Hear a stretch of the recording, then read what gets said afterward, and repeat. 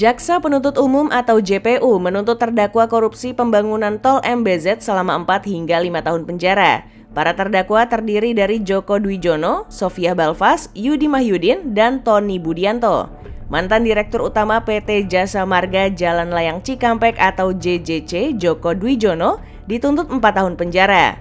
Dalam sidang di Pengadilan Negeri Jakarta Pusat ini, para terdakwa dinilai terbukti menyalahi ketentuan Undang-Undang Tindak Pidana Korupsi menjatuhkan pidana terhadap Joko Dwijono. Oleh karena itu, dengan pidana penjara selama 4 tahun dikurangi selama terdakwa berada dalam tahanan.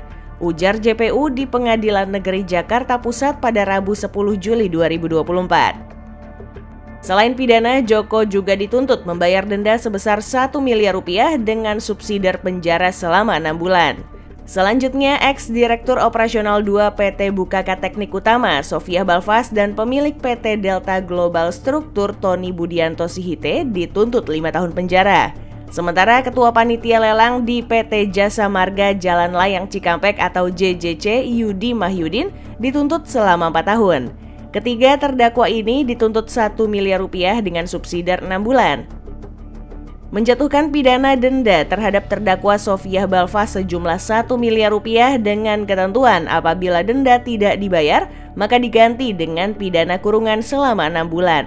Jaksa penuntut umum dalam perkara ini, para terdakwa diduga bermufakat terkait pemenangan KSO Waskita Akset dalam lelang jasa konstruksi pembangunan jalan tol MBZ. Akibat perbuatan mereka, para terdakwa JPU menilai kerugian negara dalam kasus ini mencapai 510 miliar rupiah.